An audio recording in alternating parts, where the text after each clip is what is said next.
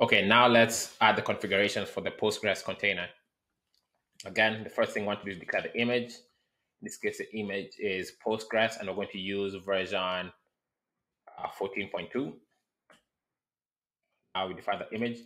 Then the command that runs when Postgres starts, which is going to be Postgres uh, hyphen C and max connections equals 200. So the number maximum number of connections. This is just an arbitrary number that I chose. Uh, it depends um, on your use case, what you want to use.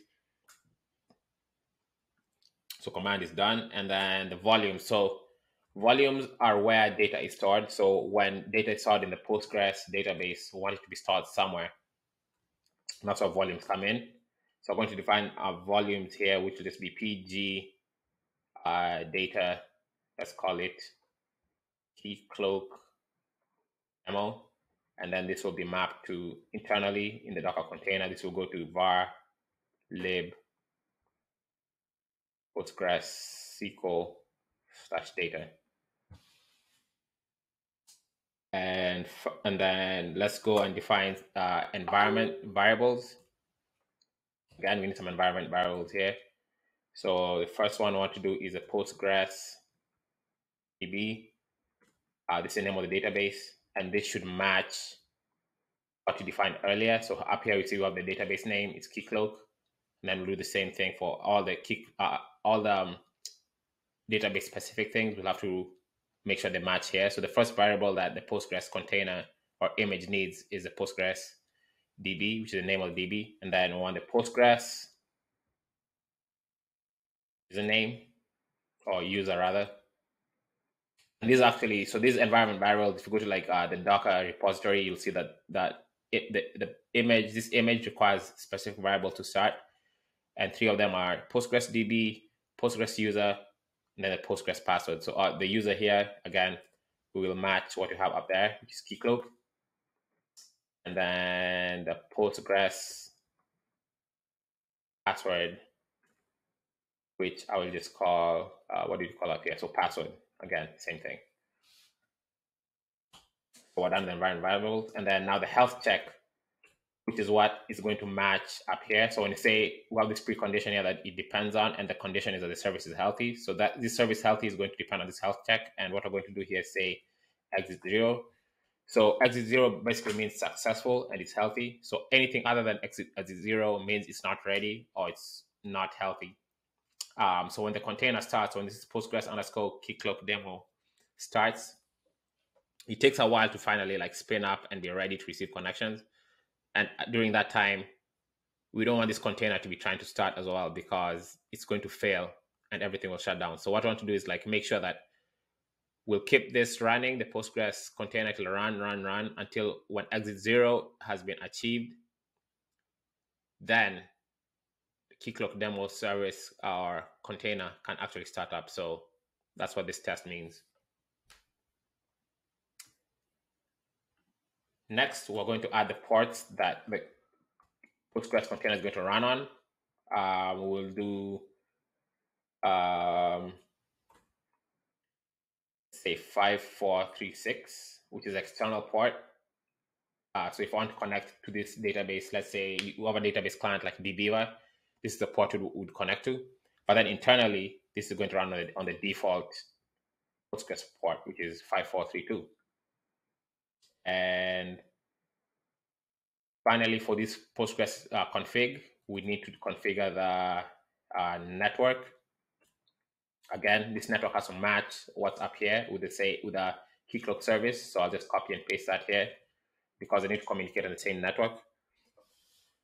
That's done. And then now we need to define the volume. So we define the volumes.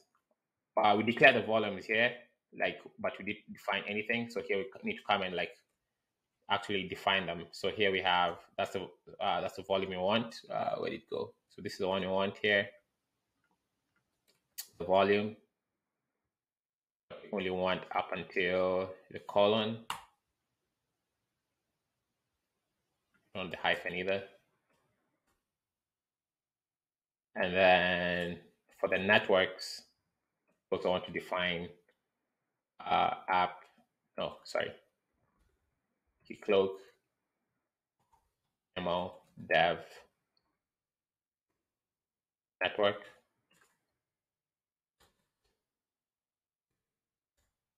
And the driver will be the bridge. All right, so now we're done configuring our Docker Compose file, and we should be able to start the Docker container for Keycloak, which will in turn also start the Docker Postgres container, and we can navigate to the browser and be able to log in with um, the account that we created here. So let's go ahead and run this uh, Docker Compose file. Um, I created a simple script that essentially does that. It changes the directory into the app folder.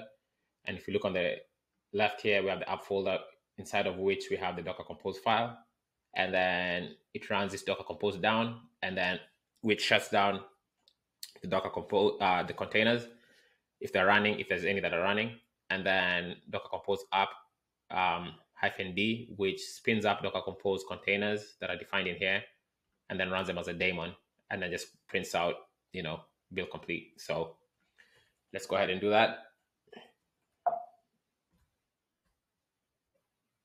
Now we're getting an error talking about something related to the volume. So let's come here and see what the volume section says.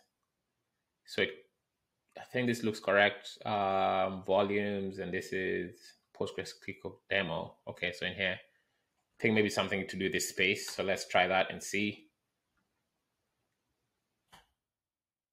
Okay, that seemed to work. So now we're waiting for it to uh, spin up the Postgres uh, container and then to spin up the Keycloak container. And you should be able to go into a browser and do localhost 8890 and get the login page for Keycloak. Okay, so that's done running. Now let's see if Keycloak is running on our local host. So we're going to the browser and try to access the Keycloak admin portal, which is running on our local host at port 8890. Looks like it's running. We log in with our credentials that we set in Docker Compose. And indeed, we're in now. So Keycloak is officially running on our local host and we set this all up using uh, Docker Compose. So this is convenient because now if you have a, a, version control system, you can just check in this code and developers can just check it out um, and spin up Keycloak using a simple script and be up and running in no time. So this is highly, highly convenient. And that is all. Thank you for watching.